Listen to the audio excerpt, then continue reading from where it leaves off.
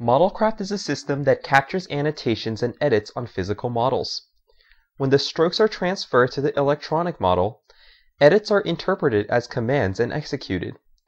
In this example, the strokes result in various embellishments to a simple model of a house. Starting from a 3D model in a CAD program, Modelcraft creates a 2D cutout by unfolding the original 3D model. The planar figure is then printed on a sheet of digital paper and is then cut and assembled.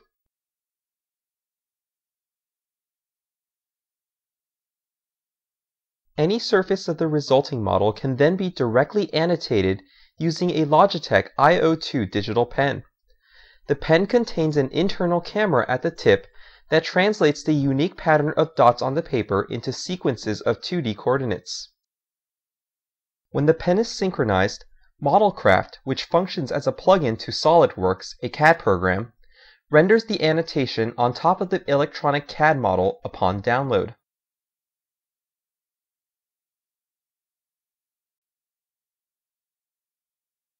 To perform a cut-through editing command, users first draw a shaped hole, and then draw a pigtail, and finally the letter C for cut.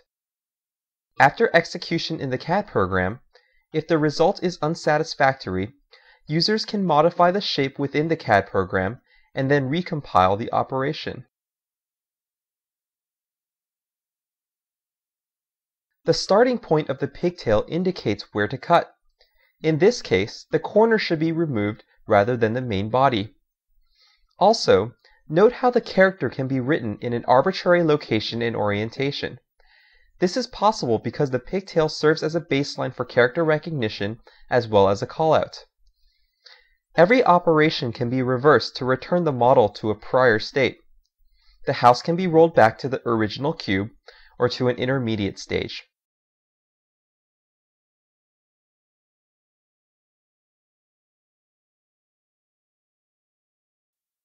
The Modelcraft syntax also accommodates additional parameters like the depth of a cut. To emboss the shape of a key, the user first draws the shape of the cut. Next, the user marks the depth of the cut, and finally the user draws the pigtail and the letter C.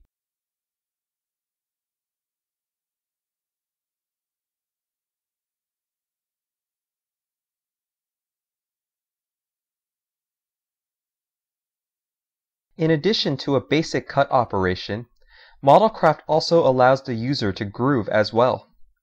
The parameters required for the groove command are semi-closed shapes on two or more surfaces. In this example, three groove commands have been issued on the cone.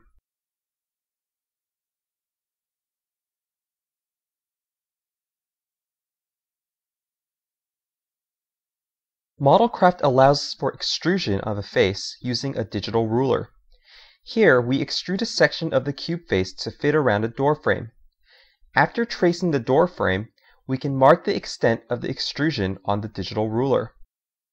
We follow that with a pigtail and the letter E for extrude. Here, we see the resulting cube with an extended face in the CAD program. Our command system is flexible enough to provide a wide set of features. Here we perform a fillet operation on an edge and a shell operation on the face. The example shown here creates a rounded container from a cube using four fillets, one shell, and one cut operation.